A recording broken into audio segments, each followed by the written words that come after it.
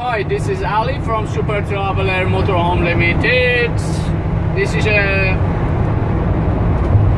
Kentucky K-Line CD model is in front of us. We're cruising around the 70 mile per hour.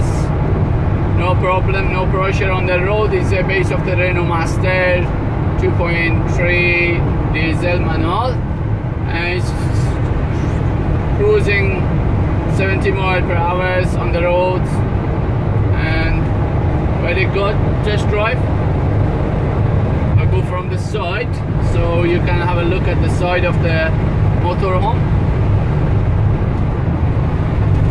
Uh, it's a Kentucky K-Line CD from the Super Traveler Motorhome Limited.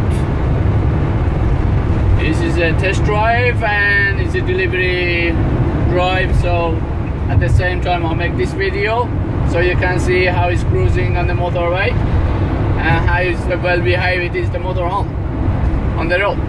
Thank you for watching this video from Super Traveler Motorhome Limited and I hope you like this video. Thank you